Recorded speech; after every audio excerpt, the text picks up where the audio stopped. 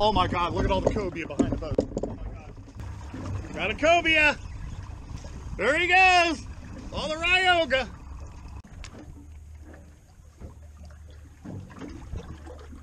Let's see.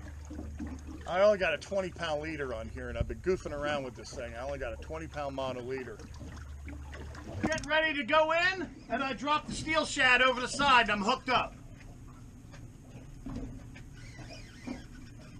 Hooked up on the steel shad out in the middle of the desert on a little pile of bait. Steel shad, the famous Amazon lure. On the Ryoga and the Daiwa beef stick.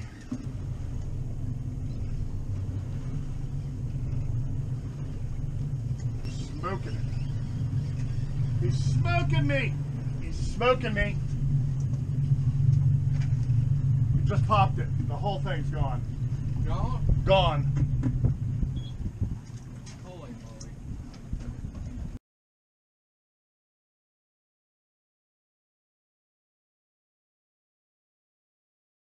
Well, after my last video, uh, I in that video I used this.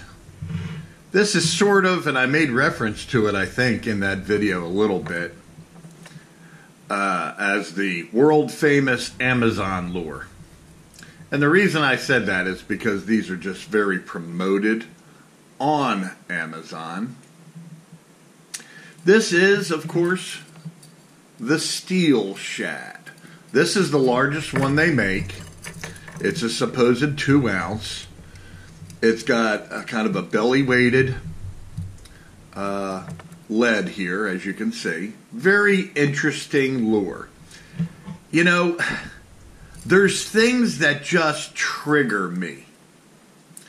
And I'll tell you what they are simple and metal and effective.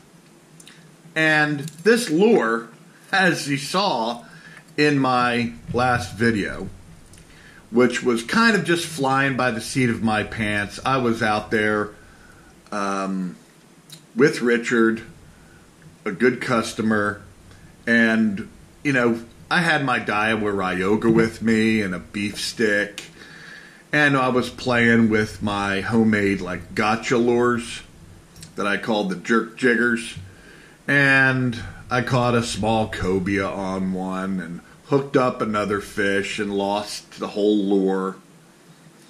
And then I pulled out one of my steel shads. And to go into a little bit of detail that maybe wasn't on the video, is we were actually heading in and we went over a hump in the bottom. And that hump, I of course marked. I saved that spot. Saved a lot of spots that day because going along just kind of slow trolling with my uh, 15 horsepower Merc Pro kicker, you really get to just pick up a lot of little spots on the bottom, which you should normally anytime you're trolling offshore, you should be able to find a whole bunch of new spots. So we went over a little hump off of the main reef area, and it had a little stack of bait on it. Just a little stack of bait. And I grabbed my Daiwa Ryoga and my seven foot casting beef stick, and I had this on. And, and I chucked it over the side and this vibrates on the way down. It goes on the way down. And I no sooner hit down on near the bottom and stroked it up and got my butt handed to me. Who the heck knows what it was? I don't know, but in the video, I had my largest 2025 bay jigging Daiwa Ryoga just smoked down to three quarters of the spool was gone with 30 pound braid. Now I had that 30 pound braid tied to nothing but uh, a uni knot with 20 pound mono, maybe 30. And I don't know if it had a bunch of nicks in it or whatever. But after an extensive little fight there, the leader broke and I lost one of my steel shads. And it was funny because Richard kept saying, Oh, you lost another lure, Dave. Oh, you lost a lure. And I mean, like I said in the video, even, I said, you know, we buy these things just to lose them, you know. So this is such a simple lure. You know, I mean, bass fishing guys, you know, they've, there's tons and tons of sort of vibrating lures. Here's one from Australia, a Reflecta. Sort of the same situation. It's it's different because the whole thing is weighted. But it's got this flat front. And I've got these in all sizes. You can't buy these anymore. I bought this. I bought a whole package of Reflectalures via these are Dennis Braid. I mean, they come out. See, it says Reflecta right there. But that's sort of another vibrator for like trolling, right? Everybody's seen a lure this size. But these steel shads are just so cool. I mean, when you when you have it tied off to this spot right here, and I've it comes with the split ring, but I added the ball bearing swivel and this quick snap. All right, because what I'm going to show you is how I'm going to actually rig this to be able to do what I just did in that video all over again on another slick calm day, even if I have to go out myself. They got these single Siwash hooks. They look like uh, VMC Permasteels. Very adequate, very adequate hooks. And I believe I've got these on my Amazon Tools of the Trade page. This is the largest. They go all the way down to little tiny 3 8 ounce ones. But talk about a versatile lure. You could troll it, you could see, you could jig it, because as you pull up on it from this pull point right there, it really just vibrates like crazy. And like I said, on the fall, it shimmies all the way down. Kind of really indestructible. You know, it's nothing more than a piece of steel with stickers on it, two holes drilled up here, hole drilled, hole drilled, and the lead is melted on. I mean, these people have really, you know, kind of come up with something. I don't know the whole entire story of the people who manufacture this. But what a killer lure. But I'm going to show you how I'm going to rig it ne- this next time because of the fact I just really kind of screwed up. I mean, that was all flying by the seat of my pants just because I don't go many places without my Ryoga and something to cast. So, this is what I'm doing next time around. I added this ball bearing swivel right here.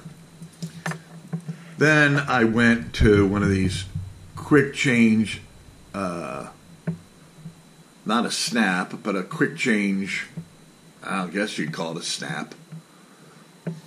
Then, I'm hoping you can see this. Then I went to like 45 or maybe 60 pound single strand just because I got it. And then from the single strand, I go about uh, uh, 16, 18 inches here. Then I went to an Albright special on the wire. This is kind of a unique knot. You take your wire and you fold it over and you do an Albright around it and you tighten it up. Okay, the tag end I burned with my braid cutting little lighter here. It's got this slot in it. And I burned the end and stubbed it off right, right in there.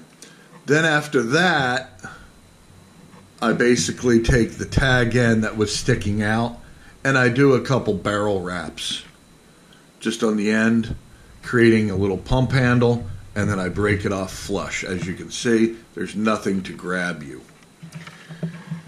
So then, unlike I did before, I'm going now to like 40 pound mono. All right. And I use a good long piece of that for like shock leader. And then I went to here's heavy braid. It's, I believe it's 60 pound braid. I got this doubled. And then I go to a uni down here. And then I got a double line surgeon's loop going from the doubles to a, to the single.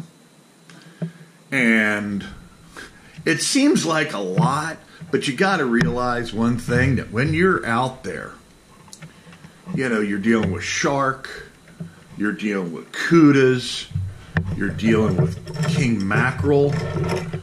Um, I don't know what that last fish was. I don't know. Uh, that's the neat thing about just taking something like this and dropping it to the bottom offshore. You just don't really know what you're going to get that was lurking around down there. But I'm trying to save it, the lure, by putting the wire on here. And I'm going to try this again. But next time, I'm going with my Daiwa beef stick because it's got some beautiful action. It just has a wonderful action. Here's the Daiwa beef stick rod. It's upside down. Um, Daiwa beef stick. It's not a trigger rod. But next time around, I'm going with my Jigging Master level wind. And if you're a subscriber, you've seen me talk about this reel before. This is a really badass reel. Level wind, lever drag. So right there, right there is a perfect thumbnail for this video. Yep, that's a perfect thumbnail right there. Maybe take this out. Maybe put my Dennis braid angler tool back here. Very unique, very unique set of pliers for opening hook eyes. All right. So I just wanted to follow up because I learned real quick that what I was doing out there that day was just flying by the seat of my pants. They're gonna obviously, since I had a couple hookups on this lure, they're just really they're they're striking it because the vibration and the flash. I don't believe there were kudas that I had hooked up because many times the kudas will jump. I don't know. You really don't know. But I will be doing that again if I have to even go out there myself on a calm day and just drop these down on humps and reefs with stack of bait, just like butterfly jigging. Except this seems to be a little better, I believe, than butterfly jigging. It's a little more versatile. I control this. I can bomb it. I can cast it. All right. And it goes to the bottom relatively quick. Has action on the way to the bottom. So the steel shad. I'm very fascinated by it, and really didn't use them until you saw what I did in that video just a couple times, and I didn't highlight it by any means. But maybe next time I get a nice slick day, I'm going to run out there and I'm going to drop this down on a bunch of different spots. I mean, there's all those baby cobia were around. Oh my God.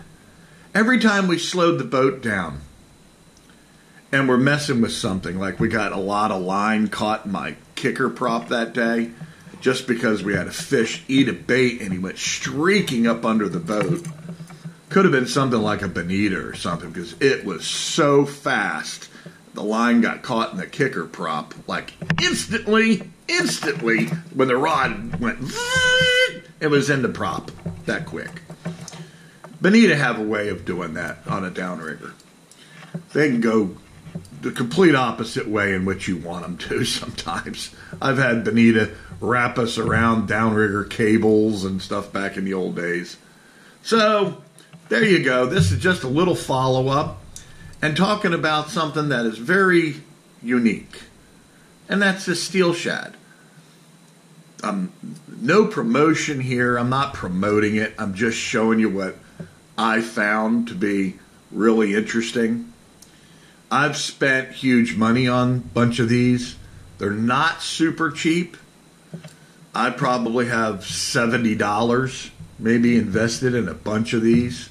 You get them like, um, I believe you get a two pack for about 19 bucks or 19 something. You can find them on Amazon. I got them on my Amazon Tools of the Trades page. You can go to their website. They got them at Bass Pro, all that kind of stuff. They're around. This company is doing things right. They're doing things right. You can find these everywhere.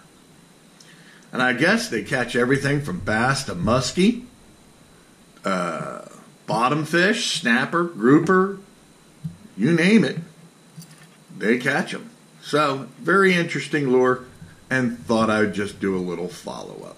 So, thanks for watching, and I will see you on the next one. And maybe the next one will be me getting my butt handed to me once again. But I don't think so. Because next time, it's going to be the wiki reel. The Jigging Master wiki reel. This thing is so powerful and strong. Ah, God, I love it. Wiki Jigging by Jigging Master. What am I? Besides the Daiwa Ryogas, this is the real. So, I'll see you next time.